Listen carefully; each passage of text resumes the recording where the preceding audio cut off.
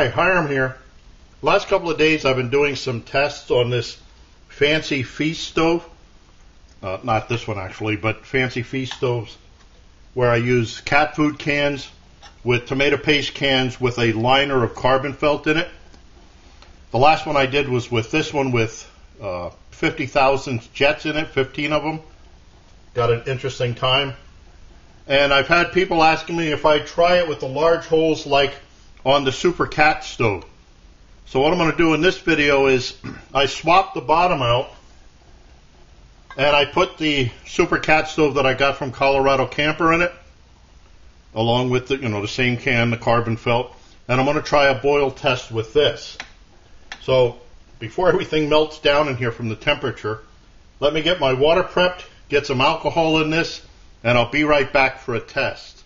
Okay, my water's to temperature. I've got one fluid ounce of methanol in here, all ready to go.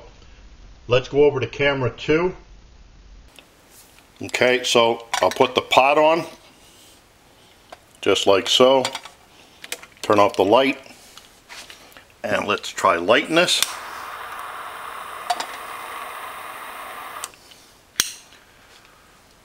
Now with all the humidity in here, I guess it's having a little bit of troubles getting the alcohol up the carbon felt. Uh, the temperature now is 83 degrees, 81% humidity. It's raining cats and dogs outside.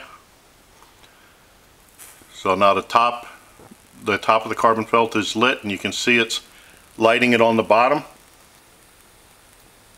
Pretty cool. Wow, big flames.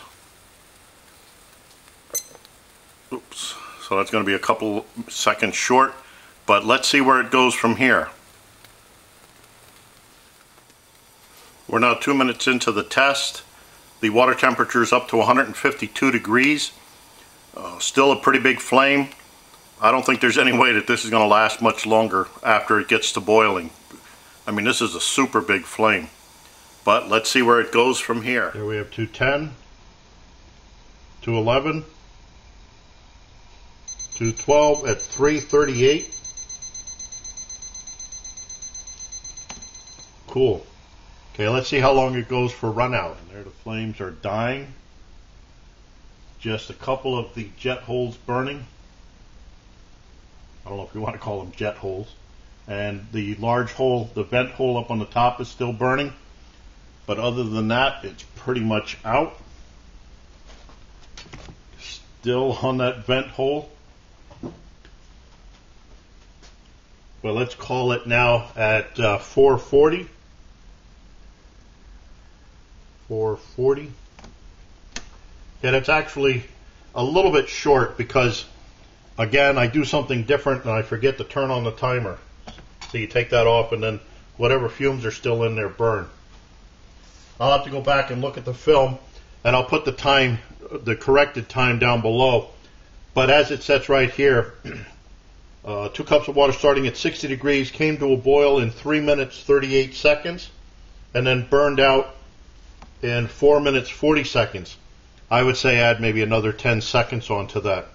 With the fancy feast stove, with the smaller jets, two cups of water starting at 60 degrees, came to a boil in 4 minutes 24 seconds, so about a minute more, minute more.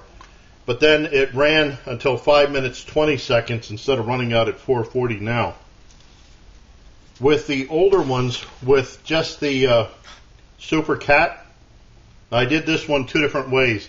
One where it was just the Super Cat that I got from Colorado Camper, and then another one where I put carbon felt on the inside, just the same way it is here, except in this case this can's been added.